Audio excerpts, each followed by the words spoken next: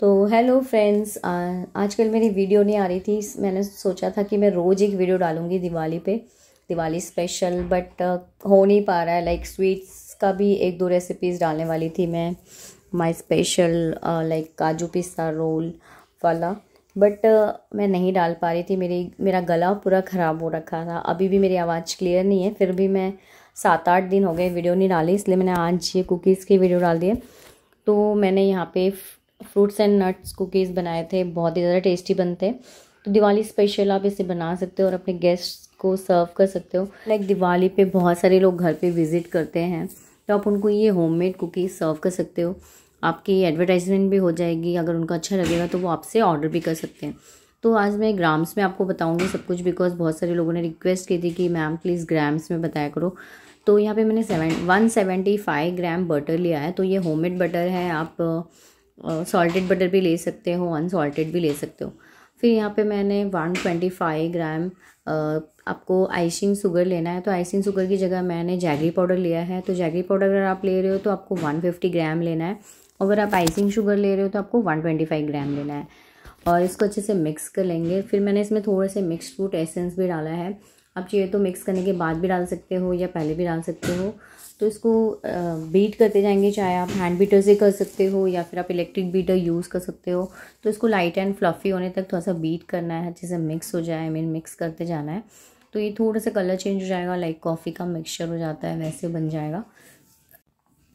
तो अब इसमें थोड़े से ड्राई इंग्रीडियंट्स डालेंगे तो ये अच्छे से मिक्स हो गया है हमारा।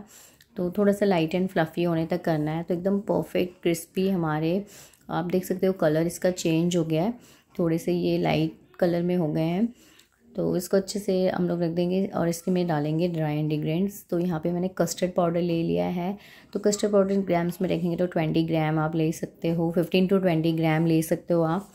तो आप टू टे, टेबल स्पून के हिसाब से भी ले सकते हो। फिर मैंने इसमें मिल्क पाउडर डाला है। मिल्क पाउडर भी आप twenty two twenty five gram ले सकते हो। और फिर इसमें baking soda and baking powder दोनों भी डालना है। तो बेकिंग सोडा यहाँ पे मैंने थ्री ग्राम डाला है और बेकिंग पाउडर यहाँ पे वन पॉइंट फाइव ग्राम डाला है। तो स्पून्स में देखेंगे तो टू टीस्पून आपको बेकिंग सोडा डालना है and one teaspoon baking powder डालना है। इसको अच्छे से मिक्स करना है। तो बेकिंग सोडा हमें हेल्प करेगा इसको राइस करने में मतलब कि आपका कुकी थोड़ा सा राइस होगा, फूलेगा साइज़ में एंड बेकिंग पाउडर से वो क्रिस्पी बनेंगे।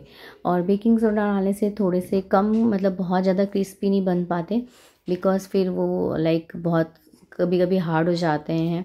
तो baking soda and baking powder दोनों इसमें हमने डाला है ताकि वो क्रिस्पीनेस एंड सॉफ्टनेस दोनों बनी रहे दोनों भी परफेक्ट रहे। तो यहाँ पे आप ड्राइड फ्रूट्स डाल सकते हो अपने चॉइस के। तो यहाँ पे मेरे पास ड्राइड ब्लूबेरी है वो मैंने डाल दी है ड्राइड क्रैनबेरी डाली है मैंने। तो आप इसमें ब्लैक किशमिश डाल सकते हो ड्राइड फ्रूट्स आते हैं मिक्स वाले वो डाल सकते हो।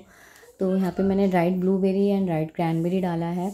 या फिर आप इसमें टूटी फ्रूटी भी डाल सकते हो टूटी फ्रूटी भी आ, सेम काम करेगा। इसमें ऑलमोस्ट फिर यहाँ पे 250 ग्राम आपको मैदा लेना है तो मैदा की जगह आप आटा भी ले सकते हो। तो लाइक गैस को सर्व करना है, थोड़ा परफेक्ट बना चाहिए, इसलिए मैंने अपने यहाँ पे रिफाइंड फ्लोर यूज़ किया है। अदरवाइज़ मैं हमेशा कुकीज़ ओट्स फ्लावर का बनाती हूँ, या फिर नॉर्मल गेहूँ के आटे का ही कुकीज़ बनाती हूँ। तो अब इसको हल्का हाथों से स्पैचुला से मिक्स कर लेंगे, या फिर आप बीटर भी यूज़ कर सकते हो मिक्स करने के लिए। ये परफेक्टली मिक्स हो जाएगा। तो इसमें मिल्क की रिक्वायरमेंट नहीं होती। अगर आपको थोड़ा सा गीला लग रहा है तो आप पाइपिंग बैग से पाइप कैप करके भी बना सकते हो। और आपको ज़्यादा गीला लग रहा है, आपको पाइपिंग बैग से नहीं बना रहा है, हाथों से ही करना है रोल वगैरह करके तो आप इसमें थोड़ा सा आटा मिक्स कर सकते हो लाइक गेहूँ का भी चलेगा। और आप चाहिए तो हाफ़ ऑफ़ रेशियो में भी बना सकते हो। हाफ़ आपने रिफाइंड फ्लोर ले लिया, मैदा, या हाफ़ अपने हाफ़ रिफाइंड फ्लोर और हाफ़ गेहूँ का आटा आप यूज़ कर सकते हो। तो दोनों भी फ्लोर आप हाफ़ ऑफ़ रेशियो में भी यूज़ कर सकते हो लाइक आप ओट्स फ्लोर भी यहाँ पे यूज़ कर सकते हो अपने चॉइस का। तो यहाँ पे मैंने बेकिंग पेपर ले लिया है नीचे पार्चमेंट पेपर आप ले सकते हो। फिर मैंने थोड़ा सा पोर्शन ले लिया है आटे का।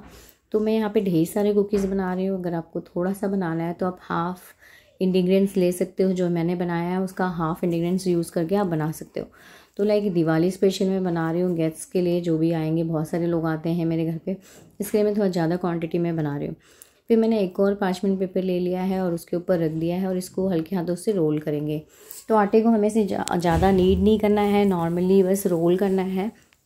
बहुत ज़्यादा थिक हमें नहीं करना है नॉर्मल रहना चाहिए, रोटी से थोड़ा सा थिक रहना चाहिए लाइक रोटी की तरह हमें पतला भी नहीं करना है और और बहुत ज़्यादा मोटा भी नहीं करना है। तो लाइक कुलचा वगैरह होता है, थोड़ा सा मोटा उतना हम कर सकते हैं। फिर आप कुकी कटर से कट कर सकते हो या फिर किसी भी राउंड स्मॉल कटोरी होगी, आपकी बाउल होगी, उससे आप कट कर सकते हो। बस सिंपली इसको लेते जाएँगे हम लोग और बेकिंग ट्रे में रखते जाएँगे। बेकिंग ट्रे में बेकिंग पेपर लगा लेंगे नीचे और रखते जाएँगे।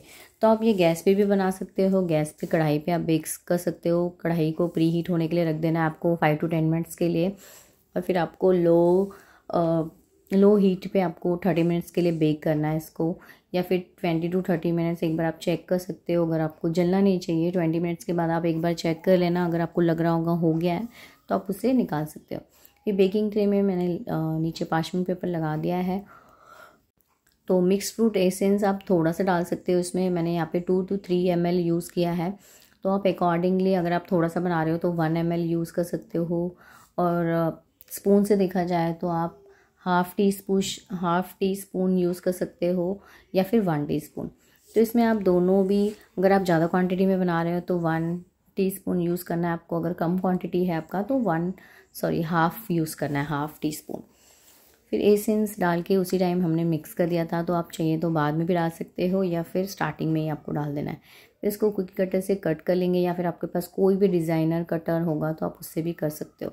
अपने हिसाब से आप अपने साइज़ के हिसाब से भी बना सकते हैं। बहुत ज़्यादा बड़ा नहीं यहाँ पे यहाँ पे मैं बना रही हूँ छोटे छोटे बना रही हूँ बिकॉज़ गेट्स को सर्व करने के लिए छोटे ही ठीक होते हैं। बिकॉज़ कभी बच्चे भी होते हैं साथ में, उनको पसंद आए ना आए तो इसीलिए स्मॉल साइज़ में ही बनाना चाहिए। लाइक आप सेल्फ पर्पज़ के लिए बना रहे हो सेल्फ़ यूज़ के लिए तो आप बड़े साइज़ में बना सकते हो। तो आपका काम जल्दी हो जाता है बिकॉज़ वो सेल्फ ही हमें खाना है तो दो खाने से अच्छा हम एक ही खा लेंगे। तो इतने इंग्रेडिएंट्स में मेरे बहुत सारे कुकीज़ बन गए थे like around fifty sixty above ही बने होंगे। तो सारे कुकीज़ मैंने रेडी कर लिए और फिर इसको आप ऐसे हाथों हाथों से भी कट कर सकते हो। लाइक हाथों पे मैंने थोड़ा सा ले लिया है रोल कर लिया था उसको राउंड शेप में और फिर कुकी कटर से कट करके मैं एक एक रखते जा रही थी। तो सबसे अच्छा ईजी होता है कि आप रोल कर लो एक साथ और एक साथ ही कट कर लो। तो जब तक मैं यहाँ पे ओवन प्री हीट होने के लिए रख दिया है मैंने, और जितने बने थे, एक ट्रे मेरे भर गए थे तो उनको मैंने फ्रिज में सेट होने के लिए रख दिया था। तो आप देख सकते हो, अराउंड थ्री, तीन बार मुझे बेक करना पड़ा था।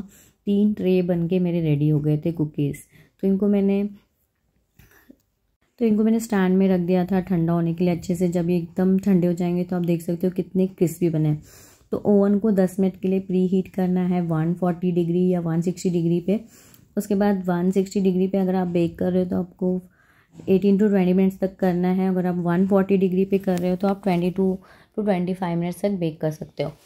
तो आ, मैंने 140 पे किया था तो मुझे उतना अच्छा नहीं लगा था तो मैंने 160 पे सेकेंड राउंड फ़र्स्ट राउंड मैंने 140 पे किया था 20 मिनट्स के लिए एंड सेकेंड राउंड मैंने 160 पे किया था 20 मिनट्स के लिए।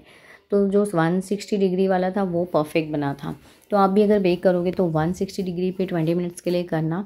अगर आपका ओवन ज़्यादा हीट हो जाता है या फिर बहुत जल्दी हीट हो जाता है तो आप 18 मिनट तक की भी बेक कर सकते हो उसको। तो हमारे परफेक्ट कुकीज़ बन के रेडी हैं तो जल्दी से वीडियो को लाइक भी कर दो चैनल को सब्सक्राइब